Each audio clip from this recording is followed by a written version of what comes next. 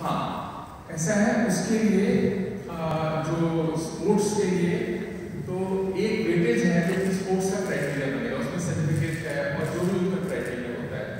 अभी उसको हम एक वेटेज देंगे सेवेंटी फाइव परसेंट के करीब हमने हाँ? अच्छा हाँ एटी फाइव परसेंट परफॉर्मेंस होगा, जो भी क्राइटेरिया है फिफ्टीन परसेंट उसमें सी ओ टी होगा 25 75 25 परसेंट होगा सीयूटी का स्कोर और 75 परसेंट होगा परफॉर्मेंस है सर्टिफिकेट्स हैं सपोज़ कोई नेशनल अवार्ड जो उनका क्रेडिट होता है। So sir now so the trials will be back अगर कोविड का कोई इशू है तो फिर दोबारा हो गया तो अलग बात है अदरवाइज़ तो प्रॉपर ट्रायल होगी। सब कुछ एंड सर टोटल सीट्स कितनी? ECA quota ECA quota same उसका जो एक्स्ट्रा काउंसलिंग ना ई काउंसलिंग होगी तो स्टूडेंट्स अपना स्कोर एंटर करेंगे और फिर प्रेफरेंसेस बनेंगे। Score and college score and college depending upon the merit of they will get college Sir, आज सर मैं अभिनव हूँ हिंदुस्तान का से और मेरे ये है कि कॉलेज कैसे तय करेंगे कि किस कॉलेज की रैंकिंग क्या है कैसे तय करेंगे कोई बच्चा कि हम किस कॉलेज में हमको मिलेगा नहीं ये तो स्टूडेंट्स तय करेंगे ना प्रेफरेंस देगा ना सपोज़ मेरे को ये साइकोलॉजी ऑनर्स पढ़ना है और मेरे पास A B C four colleges हैं मैं ये साइकोलॉजी का प्रेफरेंस दूँगा. अकॉर्डिंगली प्रोग्राम स्पेसिफिक एलिजिबिलिटी से मार्क्स एंटर करूँगा अपने जो भी सब्जेक्ट्स के. और मैं अपने अपना ऑर्डर ऑफ़ प्रेफरेंस दे दूँगा उसके बाद तो e counselling means programme take care of कि बेटर मेरिट वाला एंड बेटर ऑप्शन जो आपको होगा वो मिल जाएगा. सर लेकिन कॉलेजेस के परसेंटेज क्या रहेगा? वो कैसे पता चलेगा स्टूडेंट्स को कि कितने परसेंटेज में कौन सा कॉलेज मिलना है? नहीं परसेंटेज का इशू नहीं है इसमें आई मीन बेस्ट स्कोर में बेस्ट स्कोर में कौन सा कॉलेज नंबर ऑफ़ सीट्स तो फिक्स है ना? फ़र्स्ट राउंड जैसे लगा कि कॉलेज वाइज मेरिट में देंगे आपको इसके हिसाब बस आपको फ़ीस डिपॉजिट सर उसमें भी जैसे अगर काफ़ी सारे लोगों की स्प्लिट स्कोर सिमिलर है तो हाँ वो कैसे डिसाइड करेगा? टाइप ब्रेक करने के लिए ना हाँ उसका कानून है टाइप टाइप टाइप ब्रेक तो first category second category third category तक जाएँगे। उसमें है जरा एक बार एग्जैक्ट बता दो तो ज़्यादा अच्छा है हाँ टाइप ब्रेक एग्जैक्ट बता देंगे वैसे बता देंगे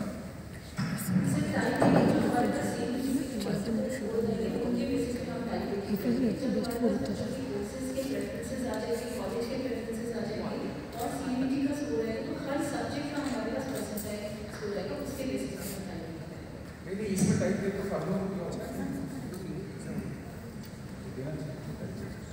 है हम इसको देंगे टाइप ब्रेक का बेसिकली तो देखो वो डिपेंड करता है कोर्स का। अभी यहाँ है नहीं तो मैं ऐसे कोई वैसे बात बोल दूँ अलग बात है। फार्मूले के हिसाब से टाइप करेंगे तो जैसे कि पहले हैड सीन कि जब कट ऑफ़ क्लास ट्वेल्थ के मार्क्स थे तो ओवर एडमिशन बहुत ज़्यादा हो जाते थे। इस सिस्टम में क्या ओवर एडमिशन की कोई गुंजाइश नहीं है देखो ऐसा है कि ओवर एडमिशन का वो चीज़ ही अलग थी। अभी क्या होगा जैसे फ़र्स्ट काउंसलिंग चलेगी तो हमने ये तय किया है कि thirty percent extra seats admit कर लेंगे हर कैटेगरी एक्स्ट्रा स्टूडेंट्स एडमिट कर लेंगे फ़र्स्ट राउंड ऑफ़ काउंसलिंग तो उससे क्या होगा कि कोई स्टूडेंट का ड्रॉप आउट हो गया तो परसेंट तक तो वैसे भी कोई नहीं होगा। तो जो सेकेंड राउंड होगा या फोर्थ राउंड होगा वहाँ पर जो वेकेंसी आएगी वो थर्टी परसेंट माइनस कर जाएगी। पर एडिशनली हम सबको थर्टी परसेंट एक्स्ट्रा स्टूडेंट दे देंगे हर कैटेगरी रजिस्टर है NTA book. Af- After the